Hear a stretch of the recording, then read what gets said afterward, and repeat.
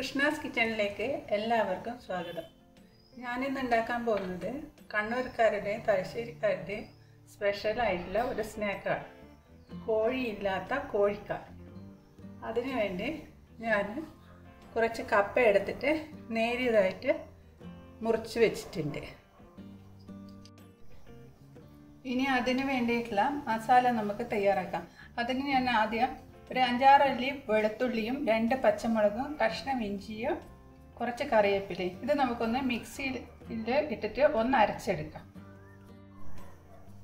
ഞാനത് അരച്ചു കൊണ്ടുവന്നിട്ടുണ്ട്. ഇനി നമുക്ക് അതിലേക്ക് ഒരു മുക്കാൽ കപ്പോളം മൈദ ചേർത്ത് കൊടുക്കാം. അതിന്റെ കൂടെ തന്നെ നമുക്ക് ഒരു കാൽ കപ്പോളം കടല കടലപ്പൊടി. അതുകൂടെ ചേർത്ത് കൊടുക്കാം.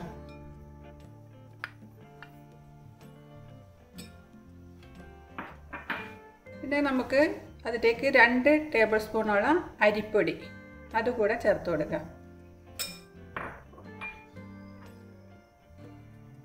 പിന്നെ ഞാൻ മൂന്ന് ടേബിൾ ടീസ്പൂണോളം മുളക് പൊടിയും ഒരു ടീസ്പൂണോളം മഞ്ഞൾപ്പൊടിയും ആവശ്യത്തിന് ഉപ്പ് കൂടെ എടുത്ത് വെച്ചിട്ടുണ്ട്. അത് നമുക്ക് ഇതിലേക്ക് ചേർത്ത് കൊടുക്കാം.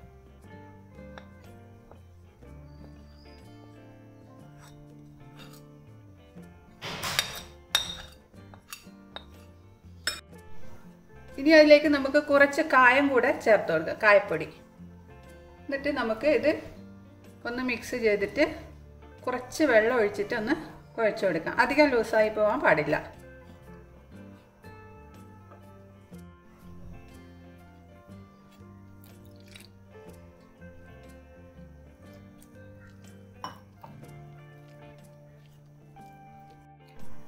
ഈ പരുവത്തിൽ വേണം നമുക്ക് കലക്കിയെടുക്കാം.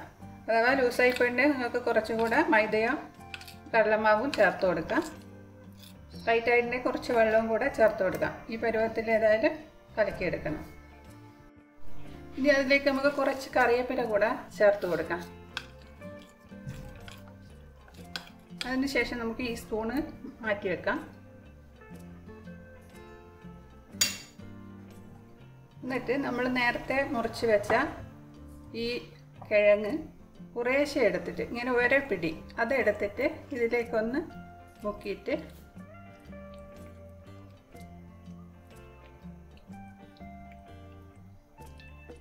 ഒന്നിങ്ങനെ പിടിക്കുക. ഇങ്ങനെ പിടിച്ചിട്ട് നമുക്കൊന്ന് അത് ചൂടായ എണ്ണയിലേക്ക് ഇട്ട് കൊടുക്കാം. ഇങ്ങനെ ഇട്ട് കൊടുക്കാം. അതുപോലെ നമുക്ക് എല്ലാം ഇതുപോലെ ചെയ്തു കൊടുക്കാം. ഇത് കുറേശ്ശെ കുറേശ്ശെ എടുത്തിട്ട് മാവിലേക്ക് ഇട്ട് കൊടുക്കുന്നതാണ് നല്ലത്. എല്ലാം ഒരുമിച്ച് നമ്മൾ മാവിലേക്ക് ഇട്ട് കൊടുക്കുന്നതിൽ നല്ലത്. കുറേശ്ശെയായിട്ട് ഇതുപോലെ എടുത്തിട്ട് മാവിൽ മുക്കി ഇട്ട് കൊടുക്കാം.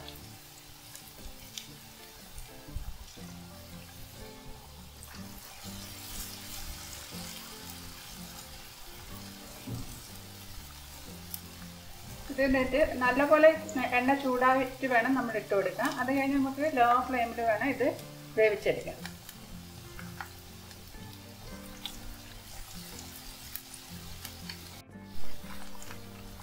ഇനി നമുക്കിത് ഒന്ന് തിരിച്ചിട്ട് കൊടുക്കാം.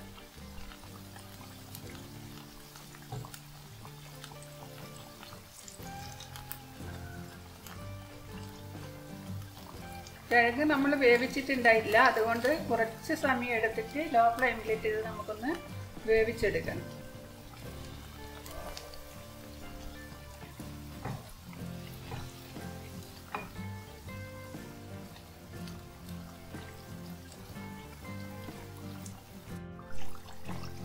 ഇത് ആയിട്ടിട്ട് ഇത് നമ്മളാകുമ്പോൾ നല്ലപോലെ തിരിച്ചും മറിച്ചും എല്ലാം ഇട്ട് കൊടുക്കണം. എങ്കിലേ എല്ലാ ഭാഗവും ഒരുപോലെ വെന്ത് കിട്ടുള്ളൂ. ഇത് നല്ല ക്രിസ്പി ആയിട്ടുണ്ട്.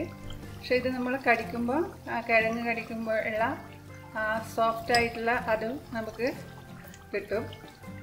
ഇത് നല്ല ടേസ്റ്റാണ് ഇത് നമുക്ക് വേഗം തന്നെ വീട്ടിൽ ഉണ്ടാക്കാൻ പറ്റുന്ന ഒരു സ്നാക്കാണ് ഇത് നമുക്ക് എപ്പോഴും കിഴങ്ങ് കിട്ടിക്കഴിഞ്ഞാൽ നമുക്ക് വൈകുന്നേരത്തെ ചായക്കെല്ലാം വേഗം തന്നെ ഉണ്ടാക്കാൻ പറ്റും.